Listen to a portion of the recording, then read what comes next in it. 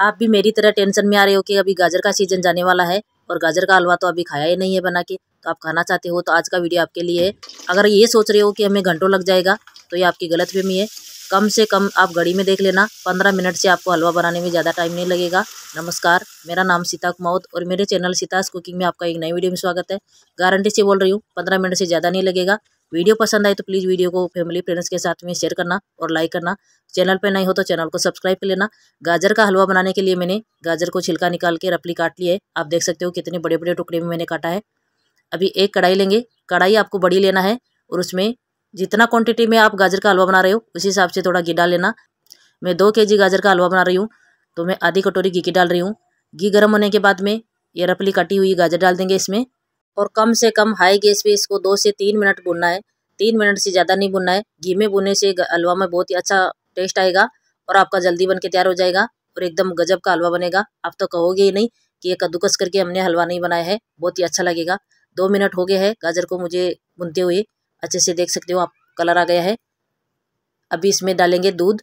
दूध आपको पहले से गर्म करके लेना है। गर्म दूध डालेंगे तो दूध फटेगा नहीं और एकदम टेस्टी हलवा बन के तैयार होगा।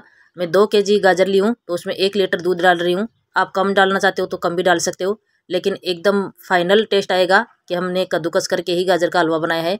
और आपको तो कद्दूकस करके जैसे हलवा बनाते हो, उससे भी गजब का लगेगा, ये मेरी गारंटी है। एक बार इस तरीके से हलवा बना के ज़रूर ट्राई करना और कमेंट करके बताना कि आपके हलवा कैसा बना है। दूध डाल के मैंने दो मिनट तक रेगुलर चम्मच चला लिया है और अभी इसको ढक देंगे। ढक्कन लगाने के बाद में बीच बीच में इसको चेक करते जाएँगे, ताकि नीचे दूध चिपक नहीं जाए तले में।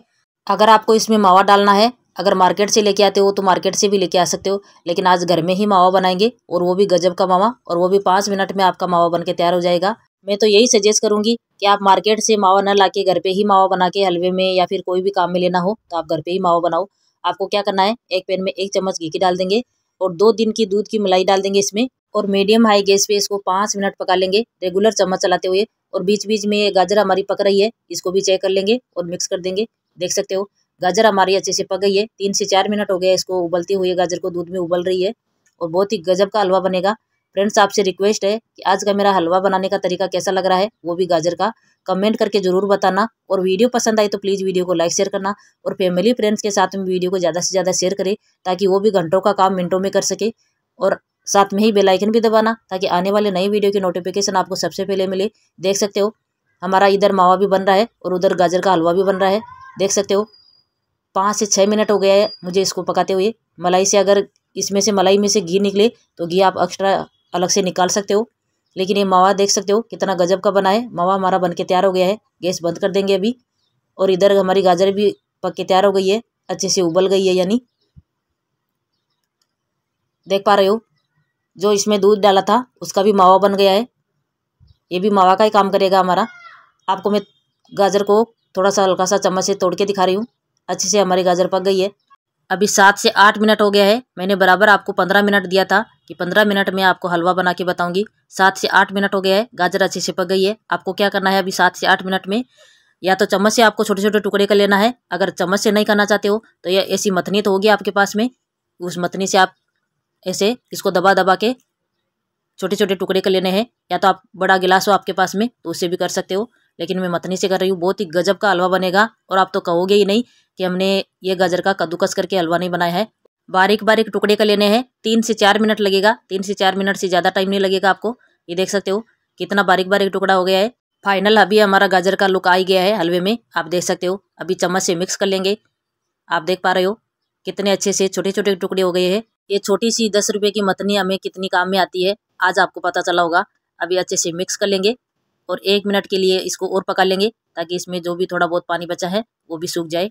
पानी पूरा सूखने के बाद में जो हमने मावा बनाया था, वो मावा इसमें डाल देंगे। अगर आप मार्केट से मावा लेके आना चाहते हो तो वो भी डाल सकते हो। बिना मावा के भी आप बना सकते हो। अगर आपके पास में घर पे भी मावा नहीं बनाना चाहते हो, मार्केट से भी नहीं लाना चाहते हो तो आप इसमें थोड़ा सा मिल्क पाउडर ऐड कर सकते हो, वो भी मावा का ही काम करेगा। अगर आप मिल्क पाउडर भी नहीं डालना चाहते हो तो ऐसे भी आप हलवा बनाओगे तो बहुत ही गजब का बनेगा। मावा जो मैंने बनाया था, वो इसमें मैंने डाल दिया है। अभी अच्छे से मिक्स करके एक मिनट और पका लेंगे।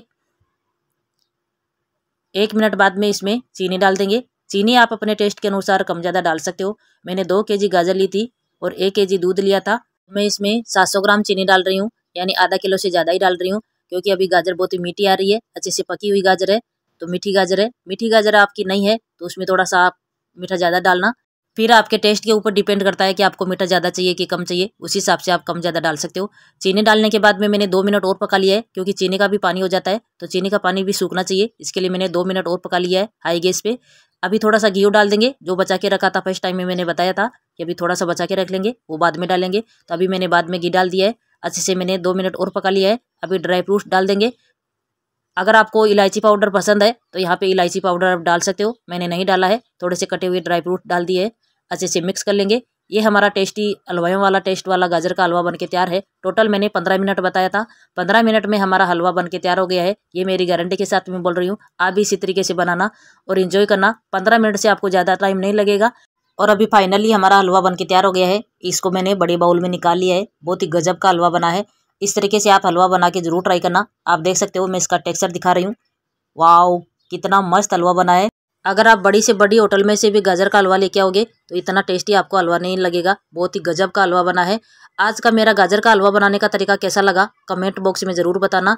और आपका एक लाइक शेयर कमेंट से हमारा हौसला बढ़ता है। और हमें मोटिवेशन मिलता है कि हम आपके लिए और भी नई नई रेसिपी बना के आपके साथ में शेयर करें।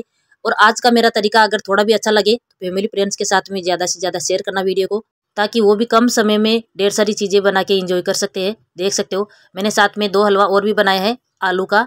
और लौकी का हलवा बनाया है। इसका वीडियो भी मैंने मेरे चैनल पे डाला है, वो भी आप जाके ज़रूर देखना। तीनों हलवा हमारा बनके तैयार हो गया है। बहुत ही गजब का हलवा बना है। तीनों में से आपको ज़्यादा कौन सा पसंद आया, वो भी मुझे कमेंट करके बताना।